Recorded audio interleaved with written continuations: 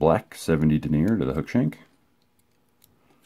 After I clip that excess thread, I'm going to bring in a strand of small silver UTC wire. Catch it with a couple wraps and slide it up to where it slips in behind the bead. And start to wrap rearward. I'm going to take another half a dozen wraps. I'm going to pause there. At this point, I'm going to bring in about four strands of black pheasant tail. As far as the positioning of these goes, once I get them tied in, I want them to be about the length of the hook shank. So catch them with a few wraps, continue to wrap rearward. As I wrap back, I'm going to keep two things in mind. I want to try to make sure that I keep that wire on the opposite side of the hook shank. And then as I wrap down, I'm going to take my wraps to a point where the hook bends and actually points down toward the vise. Once I've reached that point, I'm going to return my thread, laying down side by side wraps up to about the two thirds point of the hook shank. I get here, I'll snip off the excess, cover up the back end of that wire. I'm actually going to return the thread partially back to where I tied those in, and this is just in an effort to create a little bit of a taper.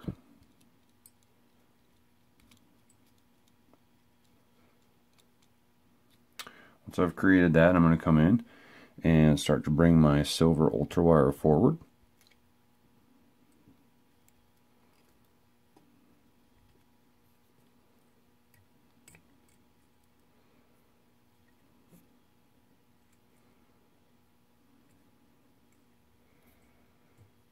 When I get it up to about even with that hook point, secure it with a couple snug thread wraps, and then I'm just going to helicopter it off.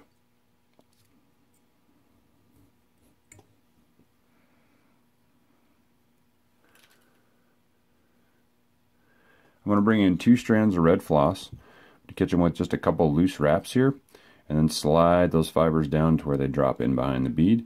I'm going to wrap back to just at or behind that hook point, covering up that, that uh, spot where I helicoptered off the wire. Then I'm going to come in with four strands of black crystal flash, and this is midge size, so it's a lot smaller than the standard size, perfect for a little Baetis pattern like this. And you get them wrapped in there, connected and wrap back to that same stopping point. Then I'll use a little bit of loon swax, apply a little tack to my thread. I'm going to bring in some natural hare's ear dubbing, and this is in black. And I'm going to create just a little bit of a dubbing rope here.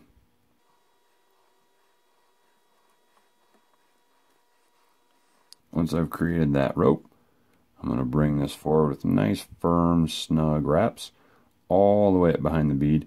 And I want to make sure that I do a decent job of filling that void on the back of the bead right there behind it. That's going to help me to ensure that those legs, when I tie them in, are tapered toward the rear of the fly and don't just splay directly out to the sides. So once that's taken care of, I'm going to bring my four fibers of crystal flash forward, Get a wrap or two over the top of them, and then I'm going to split them. And obviously, I'm going to look for half and half, so I'm going to go two on the near side, and pull those back. Catch them with the wrap here out to the side. Then I'm going to take the other two and pull them down the far side. Following that, I'll bring those two strands of floss forward.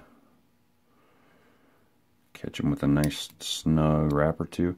I'm going to wrap all the way up, making sure that I'm right at the back side of the bead, because then I'm going to pull them back, secure them with just a couple nice tight wraps. By working it all the way up to the back side of the bead, that just ensures that I have a nice smooth taper across the top of the fly. Come in, snip those. When I trim these legs, I want them to be a little bit shorter than the body itself. So I'm going to come in there and snip. Once I have that taken care of, I'm going to whip finish the fly.